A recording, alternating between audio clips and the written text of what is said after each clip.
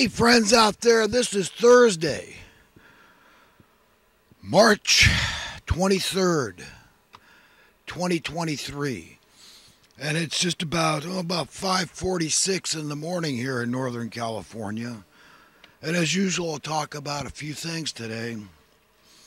Hope everybody's doing as well as they can in a crazy ass world run by uh, maniacal, money loving madmen bent on misery for the masses. Yep. That's right, friends. All of our invented problems are very solvable, invented by evil men. Very important to understand that. And they're the same typical problems that go back thousands of years. And it has everything to do with money being used as a tool or a weapon against the masses. It really affects our psyche. It really affects our sense of happiness because happiness is a term that's comprised of many different facets, components. And among those are some that are vitally important to our overall happiness as human beings. And at the top of that list would be things like freedom, security, prosperity, safety. These are the things that'll bring us contentment, peace, and joy. And, you know, being human, we're all working behind the eight ball from the get go. Okay, and this this goes back to the original sin, the fall of man, this partaking of the fruit, the forbidden fruit of knowledge of good and evil. It really does. I mean, I have no other explanation for all the crap, the organic crap that we have to face as humans. So when I'm talking about the invented crap, it's artificial, it's manufactured, it's made up in order to take advantage of huge swaths of the population, you see. There's absolutely no rational, logical basis, reason why all of humanity cannot be prosperous. And that's a fact, especially in this day and age. You see, when it's easier, so easy to produce, to manufacture, to supply all the things we want and need even luxury items, friends. I mean, go look at your local yacht harbor, wherever you are. Okay, see all the vacant boats sitting there. Yachts, beautiful things, just sitting there. The same holds true for private jets, helicopters, you name it. Okay? There's all kinds of extra luxury stuff right now. There's a glut of housing. You wouldn't know it, but there's an absolute shortage of affordable housing, right? Investors buy up everything. You understand? They manipulate things. You don't need a monopoly to really make life miserable for people. We've banned uh, monopolies have been outlawed for a long time, right? We want free, fair market competition, right? Isn't that what capitalism is all about? I mean, that's one of the fundamental precepts of true capitalism is that it's got a competitive nature. Okay? And there's risk involved. And that's what makes the game fun, you know? I mean, what's the, the the funnest games that you've ever watched have stayed close all through the game. They were exciting till the very end because you didn't know who was going to win. And we shouldn't care as a human race who wins this thing, you see. But we do. We're all been trained to believe that it's about winners and losers. And it just has to be that way in this game called capitalism. And but we all know it's an amalgamation of socialism too. Oh well, these are concessions we make to these low lives, right? These losers, these defective people, that the the, the welfare sponges out there, right? Sucking off the state. I mean, I listen, I watch Judge Judy. She's entertaining. But I mean, this is one of her pet peeves is these people that are, oh, me and Bert, we're paying your, we're paying your salary. You know, it's coming out of our pockets and all this crap. And I think, God Almighty, I mean, does the woman ever think about how things look through God's point of view? She's so bent on just seeing things through the law, the worldly, secular point of view, and there's no, there's no foundation there. That's that's it, it's built on sand. All those laws are in flux constantly. A lot of them are very arbitrary, very capricious. You understand? I mean, the way God sees it, it's God's planet. We're God's equally beloved children. It's just like any good parent would see it. That's what you want to see through God's eyes. It's simple as looking through a good parent's eyes and how they feel about their kids. They love them equally. They treat them equally. And if they didn't, the kids wouldn't respect it, even if it was the kid being favored. So we got to understand what I'm talking about is good for the evil people. It's good. I'm telling them stop being evil. You know, it's like Christ when he lambasted the evil men of his day, when he over 2,000 years ago now. I, I'm on their side. I want what's best for them. And if I don't speak out in their behalf, then I'm not doing what I'm here to do. Okay? Like the reason Christ was here to do something.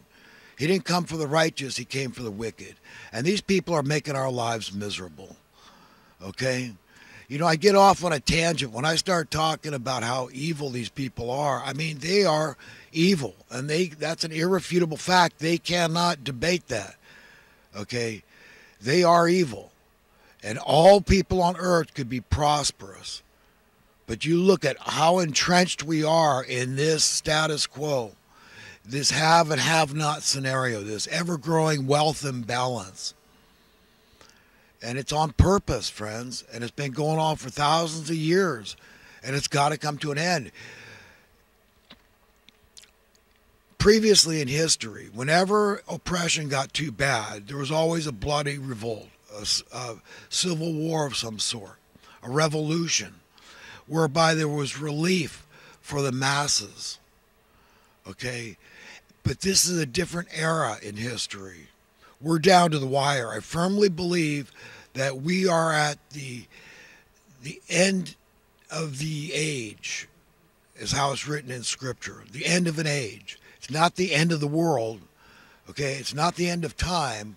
It's just an end of an age. It's the age of the money lovers, these masters of misery, these madmen that don't know what's good for themselves. I mean, when you forsake your own conscience, when you put profits ahead of people, you're evil. That's just a fact. Okay? And you are not right with God. You can't be.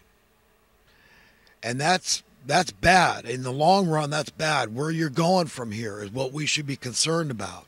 Not just how good we have it while we're here, I mean, how hard is it to have creature comforts and beyond that? I mean, people are content with very little. People are satiable. Normal people in their right mind are satiable. But we do want a sense of security. Financial, yes, financial security. We don't want to have to worry about our paying our bills, buying food, paying your housing, all the essential human needs. You don't want it to be a, a more an ever increasing burden where your you know your sense of insecurity, your sense of fear keeps growing. That's not progress, friends. That's regress. But that's exactly my grievance here that I'm trying to convey to people so you understand clearly that's what's what's happening socially economically speaking is on purpose. It's by the will of evil men. And like I said, previously in history, there was a bloody revolt, but this is a different era. So these people now they there's nothing stopping them. They're like drunken children that hijacked, usurped the school bus, and they're just bent on. They don't know. They just they're out of control. Obviously, that the masses are much smarter than the people that are in control, and that's frightening. That that is scary. That's why we've got to turn to God. Only God can help us out of this this this this mess, this muck and mire, this nightmare that they've dragged humanity into. They really have dragged us down this demonic rabbit hole toward hell a long, long way. It's like we're all stuck on this ship physically. That's this ship of fools careening to destruction that they're in control of. They don't know what the hell they're doing. Okay. Oh, is the Fed going to raise the interest rate? Oh, better not. Oh, oh, oh, uh, what do you? It's, it's, you see, they want to walk the tightrope. They want to keep on keeping this status quo, this trajectory where the wealth imbalance keeps growing. Do you understand? Where they can just keep, well, we just keep enough people poor and make sure we got a healthy amount of people that are that are hard up and living in utter fear, uh, desperation, financial desperation. They they better they're living hand in mouth, paycheck to paycheck, and they know if they don't get their butt, this is the fire they need under their butt. You know, it's like the whip. A slaver used a whip on his slaves, right, to get them to to move, to motivate them, right? Well, that's what they use financial fear, financial insecurity. It's a fear driven society. All these people doing jobs that are imperative to society, nobody can argue that fact, that truth. And they're being cheated. They're being cheated. Am I saying, oh, just keep raising wages? Well, you're going to cause inflation. No, I'm not saying that at all. No, minimum wage could be 25 cents an hour today, but be worth more than that dollar in the early 60s. That dollar minimum wage that afforded you a middle class lifestyle. Home ownership, yes. One person working in the family, yes, yes. With disposable income, yes, yes. That's the America I remember as a child, which wasn't that long ago. It goes fast, friends. Seemed like yesterday I was a teenager. I've still got that heart and spirit, that mindset yeah, life's fun, man. Life's good. I'm enjoying it. There's all there's so much interesting, cool stuff, man. Oh, I'm so blessed. I'm so lucky. Oh, it's fun. It's fun. It's exciting to be alive, man. It's exhilarating. We might be dead today. Enjoy, enjoy. Thank God for every minute. And say, God, I don't ever want to die. I want to live forever in paradise. He says, Yes, I understand. I understand. And here there's a way out, you know, and it's I mean, you know, if I kept that truth from evil men, I'd be evil. You see, we're all evil. We're all culpable to some degree because we're all money lovers, and money is the root of all evil. This is the ultimate sin. If the left hand causes the right hand to sin, cut it off. I mean, this is we're going to talk about sin, man. We've got to talk about our polluted hearts, like it's written in Scripture. The heart is deceitfully wicked above all else. We're all screwed up. We're supposed to be like little children. It's what use do they have of money? What are they? We teach them everything they know about money. Crap, it's the driver of so much of the evil in our land. We can't handle it. If we were going to learn how to handle it, we would have done it by now. I'm denouncing it. We're all the preachers, the TV preachers out there denouncing this crap. No, they're saying, oh, well, it's by your support. You know, they want your money. They want your tithe. Tithe is a chunk of change. You take it out of a predominantly Christian nation that believes in tithing, that's a chunk of change, friends. See the beauty of what I do for people, it's free. I, I could I couldn't imagine it being any other way. I couldn't. The best things in life are free. And you notice I do every time I get out here and do this, which, you know, I might stop doing it tomorrow. I mean, I get sometimes I don't want to do it, you know. The older I get, the lazier I feel sometimes, eh, eh, eh, you know. But um, I do it. And people ought to be free to get to work when they feel like it, man. I mean, eh, employers, employers, ask yourself. Masters, ask yourself. Bosses, ask yourself. And bosses, I've it's originated somewhere in Europe, and it it, it actually means master. So the next time you affectionately refer to your master as your boss, just remember where that term came from. It means master.